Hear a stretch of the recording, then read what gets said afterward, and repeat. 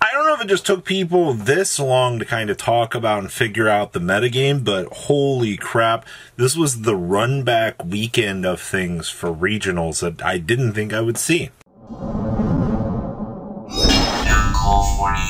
Like the 30% of you guys have not smashed the living crap out of that subscribe button, smash it so we can get, yes, ladies and gentlemen, to 105,000. Wow! Regional weekend here, ladies and gentlemen. Didn't uh, didn't expect to see all of this uh, fun, fancy run around. Yes, we're gonna have a Despia list here from my friend that rode with me, who got 11th place at the event here. Uh, and I just I want to talk about some of this stuff because out of the Columbus regional, out of 500 duelists entering into the fray here, there was Abyss Actors finishing 8 and 1 from what I was told. I watched a Crusadia Adventure Guard Dragon player climb up into the ranks of 8 and 1 and I have that list. We'll talk about that later on in the week here, but what's what's going on? Did it did it take us this long to kind of figure out how to beat Despia at least on a regional level because if Rogue it, it, like what 2 to 3 weeks after all of this time has taken a step forward here and is showing people, "Oh, maybe now we can kind of start to step things up here and change things. That's kind of what we're starting to see here, ladies and gentlemen. I'm very intrigued with that. Honestly, you know, it goes from the past to right around the corner here. I think agents will get the chance to step up here kind of shake things up a little bit here. But where in the world did Abyss actors come from? You want to you want to explain that to me? Uh, I'm even like seeing Drytron running it back. I believe that what was it? One of the regionals today or this weekend was won by Drytron. I believe it was the the California regional that was this weekend. Don't quote me on that because uh, I know I just got home. I just started opening up DMs, taking a look from things here, but that's a lot of rogue, ladies and gentlemen.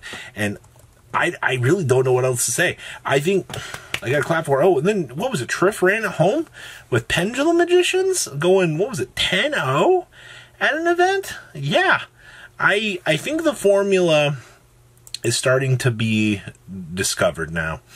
And I'm not saying that. I, I think everybody that played this weekend kind of kind of said the same thing to me.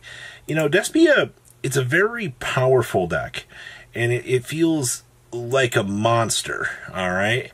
Um, but it feels weaker at certain points. And I don't necessarily feel that that's true, but like the deck has consistency on its side, and Kids uh, would also like to agree with that. You got to remember, consistency gives consistent rewards. That's just how the game of Yu Gi Oh! currently works here. But wow, Crusadia? you know, I, I, played the Brick Turbo this weekend, and you'll kind of get to see those results uh, later on here when we upload Meme Dream Machine 5.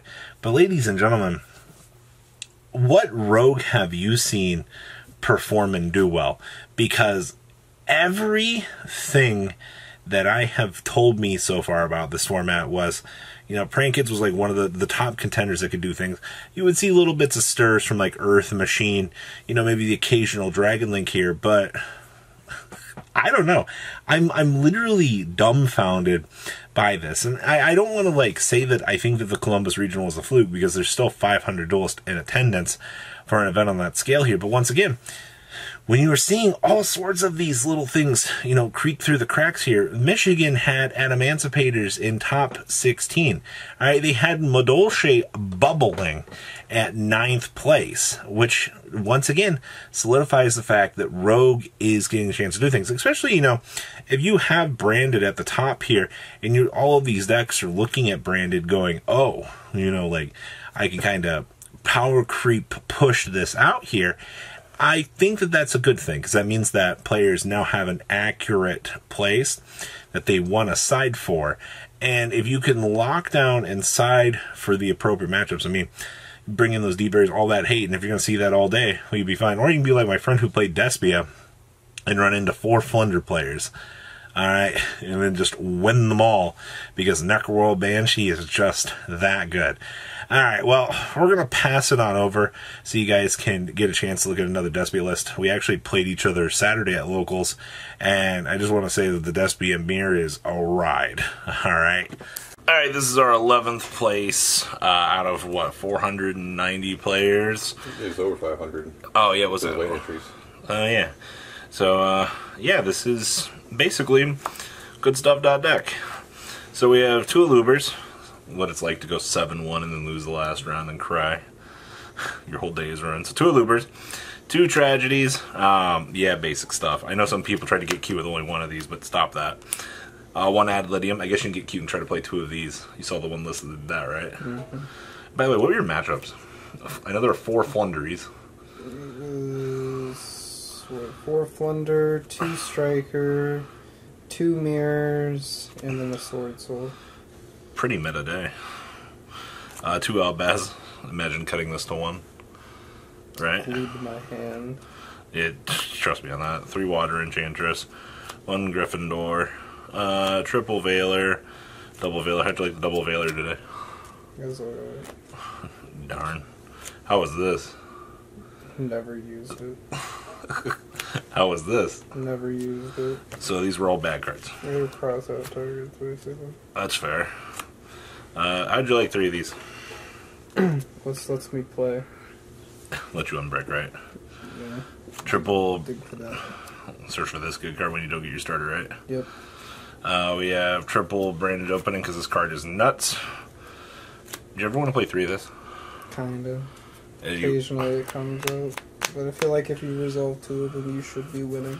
Yeah, literally, especially like if you're stepping through like the second chimera. Uh, triple right, one faithful, uh, one Dracoback.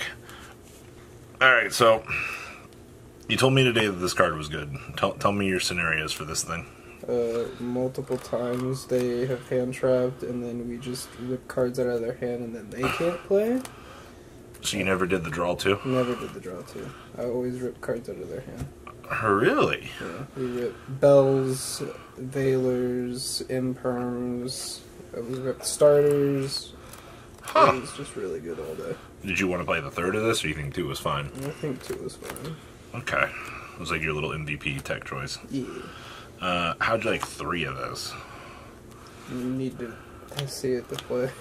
Well, I mean, I don't know. You, you have to ensure branded fusion goes through. Like, I know you're playing 46, 47? Forty-six, And then you want to go back to playing comedy, right? So 47. Maybe. I don't know. One called by the grave. One foolish. How'd you like this? It's either tragedy or enchantress, so That's fair. gets you to both engines. And then triple imperm here. Do you like three of these? It was okay. Alright, anything you cut or change in the main? Mm, Might change the hand trap lineup and go down on them a little to play the comedy and just have less cards in deck. Alright. That's what I bricked on. The only two times I lost. Uh, we have double Lubellion. This is standard. I mean, this never changes. Two mere friends. Uh, so tell me, why are we playing triple Albion? We have room, and uh, I kept going through both of them and needing the third because I'd eventually try to summon one to push another fusion to go for game, and that came up quite a few times. Uh, one Cartesia, which is fine. I mean, you could cut one for like the, the Proskenion, but that's fine. One of this stupid good fusion card. One Titaniclad. Um, did this come up at all? Nope. That's fair. One Masquerade. This card's nuts. Yep. Uh, double Guardian Chimera. This is some pretty standard stuff. Uh, and then Wink Spider Verte Anaconda. I don't think the extra deck ever really changes much in, these builds. Uh, then the side deck is pretty much uh, a Pagoda side. uh, triple Token Collector, easy stuff. Uh, Necro Banshee and Zombie World for maximum LOL at the opponent. Uh, Wucha, no fun allowed in the mirror. Uh, we have triple Twin Twisties, one Red Rebootskis, and triple There Can Only Be No Fun for the opponent. Any real other fun comments for this? This deck seems. I don't know. This deck seems I don't I, I know. just don't know. I don't know. From what I played of it and what you played of it, the So mirror. I like it, but I don't like it at the same time. That's fair. All right, guys. Remember to leave a comment down below. Tell me what you say. Wish you guys smash the crap out of that subscribe button, and uh, I'll see your beautiful faces back here later in the day, guys. Peace out. Patrons, thank you.